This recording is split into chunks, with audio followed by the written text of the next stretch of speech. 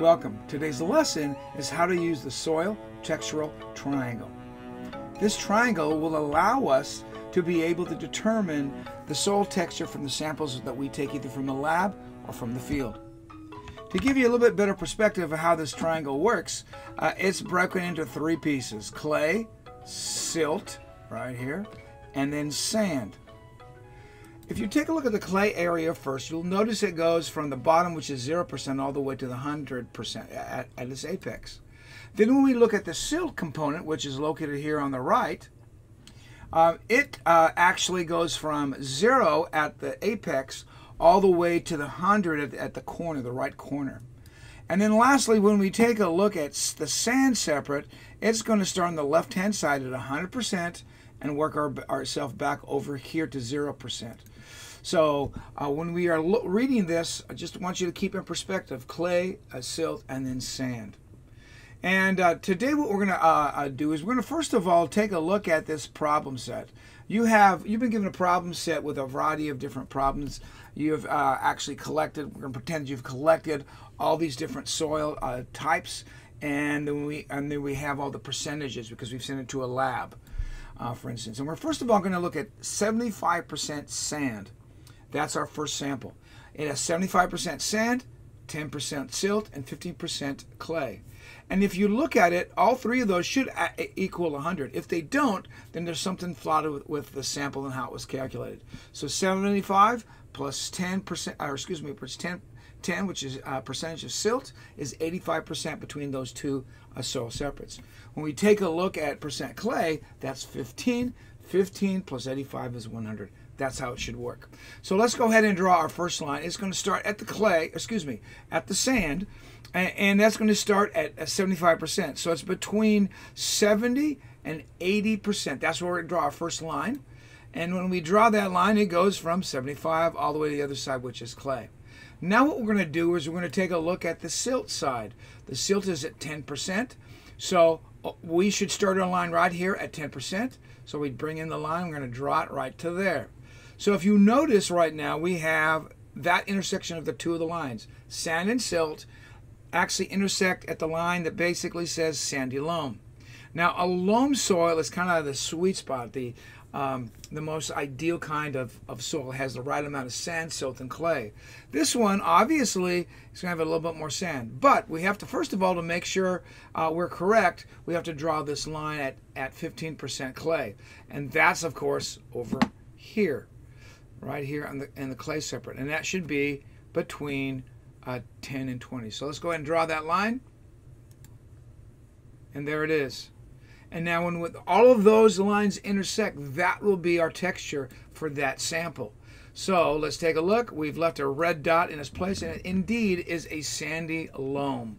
So we have a sandy loam, and it behaves a certain way. And we're going to be talking a little bit uh, about that at the end of the video today. So let's try one more.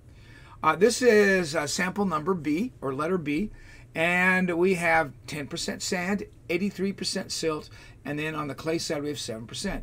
We add those all of those up, and of course it's 100%. 10 plus 83 is 93, uh, plus 7 is 100%. So let's go ahead and draw the first one, which is sand at 10%. And the sand is right down here. So we're going to draw that one first. And it draws a line straight up to around 90 over on the clay section. Then we're going to get uh, on the silt side, which is over here, and it's going to be 83%. So it should be just past the 80, uh, and uh, at least on the 80% side rather than the 90. So we're going to um, go ahead and do that. And notice how those arrows go uh, kind of down. If you notice these little lines here, they kind of help you draw the lines. And in this case right here, uh, we just drew the line straight down to follow that line. And then lastly, 7% clay and that's coming from the clay side all the way over to the silt side. And where those three li lines intersect is where we're going to put our dot uh, for the, the, the, kind of soil that we have. And according to this, it's silt. It's mostly silt. So that means it's going to be kind of medium in, in, its, in its characteristics for water infiltration, aeration, and some workability. So uh, what we have here is we've called the texture a silt. Now, on letter C, we have a bit of a problem. We don't have that reading percent of silt, but we have the other two readings. So let me show you how that works. So we're going to take 42 and then we add 37 to it. And when we do that, we get a number 79. Now, that is basically the the um, sand and the clay added together.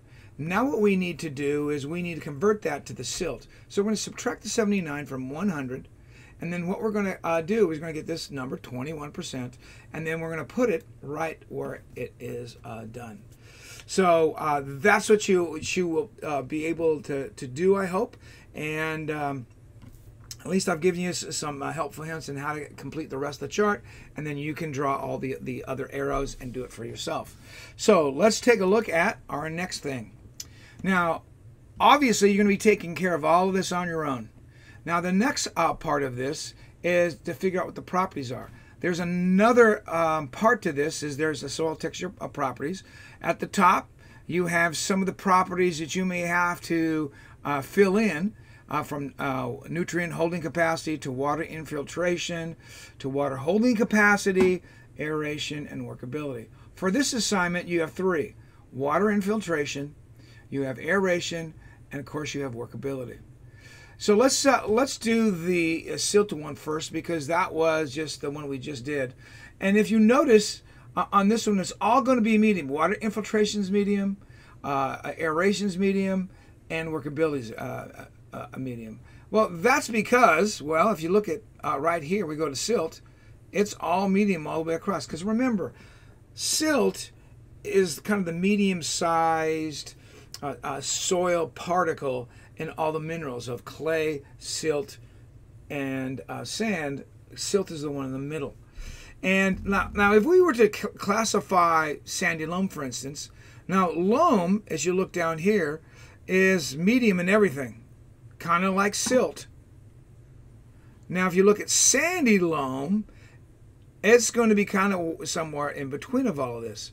So, because I've worked in um, sandy loam soil before, I can tell you that the water filtration is just that between uh, good and medium, mostly uh, more in the medium side. Um, it, it kind of goes through the, the, the soil uh, uh profile relatively quick. And as far as the aeration is concerned, it's uh, it's pretty good. It's kind of more on the good side uh, because it drains uh, fastly. Air can can get into the into the pore space much more easily.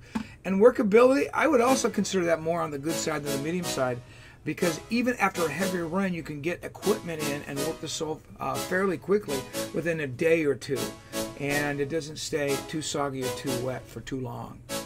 So I hope that has helped you understand how to use the soil textural triangle.